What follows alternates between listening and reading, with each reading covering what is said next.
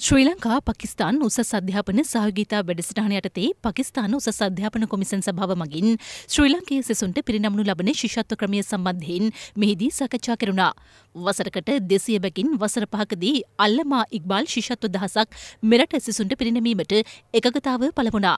කාන්තා අයදුම්කරුවන්ට වැඩි අවස්ථා පවතින බවයි පකිස්ාන මහකොමසාරිස්පරයා මෙහිදී කියා සිටියේ. සම්පූර්ණ පාටමාලා ගාස්තුව නවතැන් දීමනාව සහ අධ්‍යාපන දීමනා ඇතුළු එක් වතාවක් මෙරටට පැමිණ පාකිස්ානයට යාමට අවශ්‍ය ගුවන් ටිකට් පතද එම ශිෂත්වයට ඇතුළත්.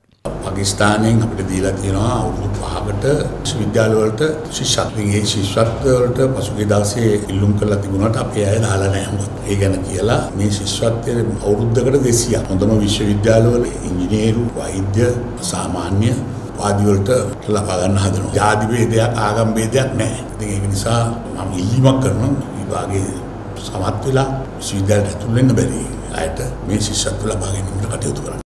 වතු සේවක වැටුප් වැඩිකිරීම සම්බන්ධයෙන් ධනාත්මකව සිතා යෝජනා ඉදිරිපත් කන ලෙස අග්‍රාමාත්‍ය මහින්ද රාජපක්ෂ මහතා වතු සමාගම් හිමිකරුවන්ගෙන් ඉල්ලා සිටියා. අග්‍රාමාත්‍යවරයා අවධාරණය කරන්නේ වතු සේවක වැටුප් වැඩිකිරීම සම්බන්ධයෙන් අවසන් තීරණයකට එළඹ තිබීම ඉදිරි අයවැය යෝජනාවලිය සැකසීමේදී පහසුවක් බවයි. වතු වෘත්තීය සමිති වතු සමාගම් හිමිකරුවන් පිරිසක් අතර ඊයේ පැවති සාකච්ඡාවකදී අග්‍රාමාත්‍යවරයා මේ බව කියා සිටියා.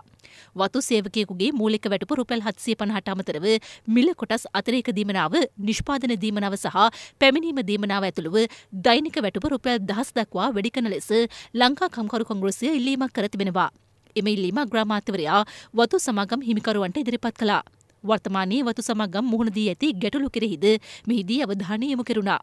ලංකා කම්කරු කොංගුලසේ උපසභාපති සෙන්දිල් තොඩමාන් මහලේකම් ජීවන් තොඩමාන් යන මහතුරුන් ඇතුළ පිරිසක් මේ අවස්ථාවට එක්ව සිටියා.